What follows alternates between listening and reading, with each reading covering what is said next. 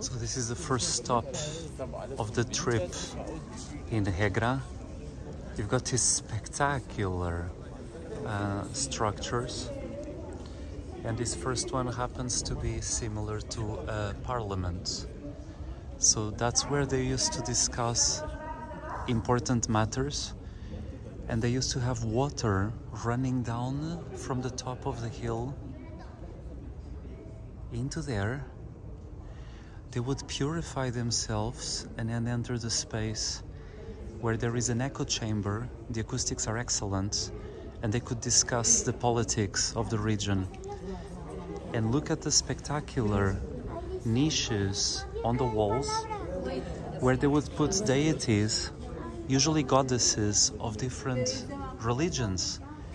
So they were extremely multicultural. They would tolerate the different faiths. You've got more niches with inscriptions um, written on them. The deities used to be portable, so they would bring the goddesses and put them in. More niches. And these ones are particularly beautiful. So on, on the left, someone wrote that they were making a temple for a goddess and you have these beautiful inscriptions at the top. So it's written there. And then this one is I find it particularly beautiful. And it's for the goddess eagle.